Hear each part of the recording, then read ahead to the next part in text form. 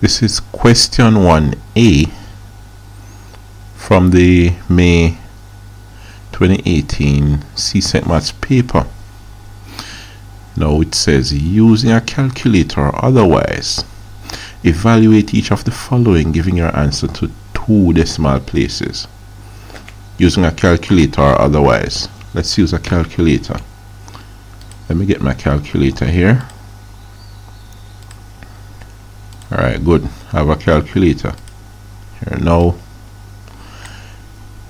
73.18 minus 5.23 multiplied by 9.34 now you have to be careful here.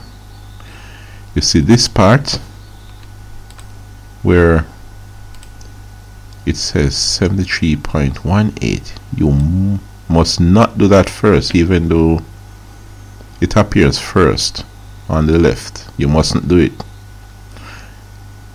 You must do the multiplication first alright so what we have here is 73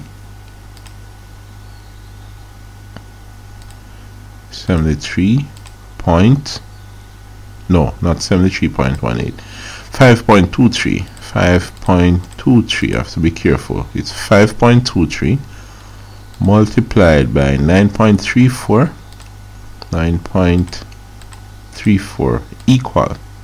That's 48.8482 then after that it's going to be 73.18 minus that.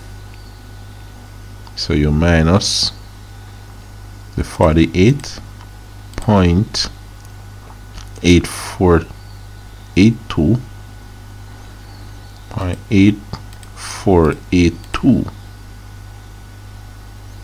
equals you have 24.3318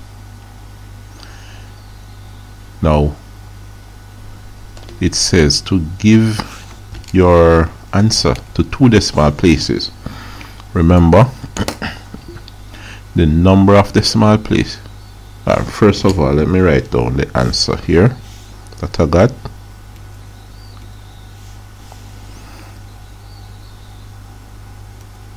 What I have here is 24 point 3318 does this look like that? Let me see if I can write my 8 a bit better let me get rid of the calculator.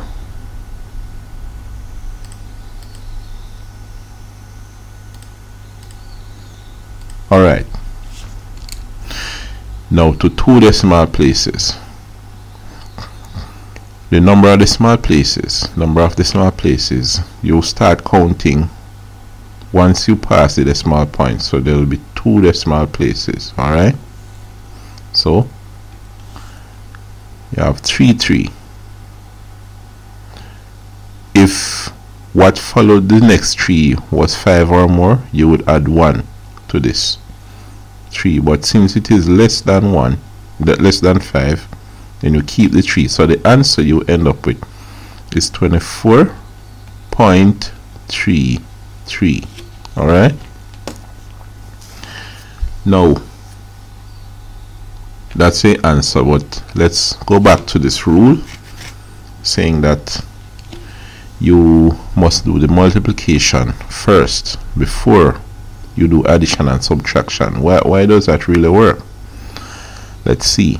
Suppose for example you had 2 plus 2 times 5 now let's consider what happened here if you say 2 plus 2 is 4 times 5 the answer you get is 20 it would be 20 right? If you do the multiplication first and say 2 times 5 is 10 so you have 2 plus 10 when you do when you multiply 2 by 5 first 2 plus 10 give you 12 now the question is which of these is right? Let's see. Let's break down this 2 plus 2 by 5 this is what we're working on right now. Let's break this down. If you have 2 plus remember what 2 by 5 mean. It means you have 5 2's added together. Multiplication is repeated addition this 2 by 5 mean there are 5 of these 2 added. So it's plus 2 that's 2 so far plus 2 that's the third one plus 2 that's the fourth one plus 2 so this part with it 2 by 5 is really this part. It means you have five twos added together now what do they come down to? 2 plus 2 that's 4 plus 2 4 plus 2 is 6 plus 2 that's 8 plus 2 8 plus 2 that's 10 plus the final 2 give you 12 so this is right. Alright so in this case this is the right one. This is wrong. So that's why you must do the multiplication first because the multiplication means in this case there are five twos added together. Alright so all you did was just add these five twos when you multiply it you get 10 then add it to the next two give you 12 alright so don't forget that